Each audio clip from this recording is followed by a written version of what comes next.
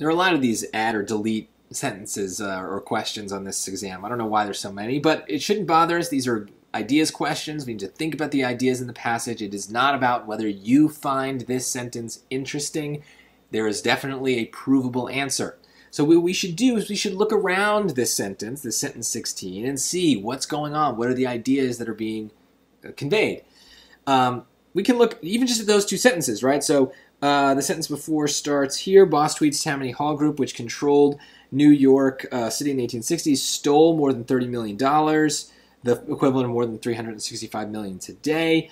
Tammany Hall was so powerful and corrupt that the New York Times commented there's absolutely nothing in the city which is beyond the reach of the insatiable gang. So it seems to be dealing with corruption.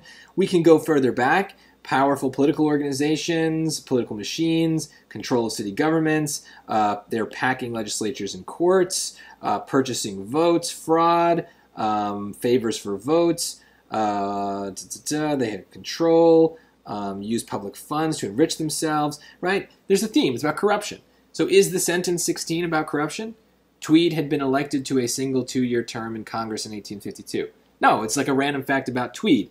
Yes, they talk about Tweed in this paragraph, but you see, the it, repeated ideas, it's not just repeating his name, it's repeating the idea of corruption. So ideas are what we care about. So we've summarized this paragraph in a very useful way, dumb summarize. Uh, it's about corruption. The sentence is not about corruption, so it probably should not be kept. And then if we look at the two uh, examples, it blurs the focus of the paragraph by introducing loosely related information. So yeah, it's kind of related in that it's about Tweed, but loosely because the, the paragraph is more about corruption. Or D, deleted because it contains information that undermines the main claim of the passage. We saw this exact choice between C and D uh, in an earlier question in this test. C is going to be the answer because undermine is a strong word.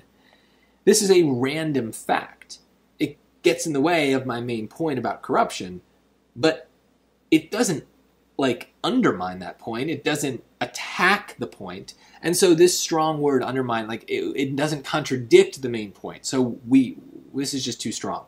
So go with things that are weaker, just like we do in the reading section, and uh, it's very likely you'll have this exact kind of choice yourself on your own SAT. They tend to repeat these kinds of choices.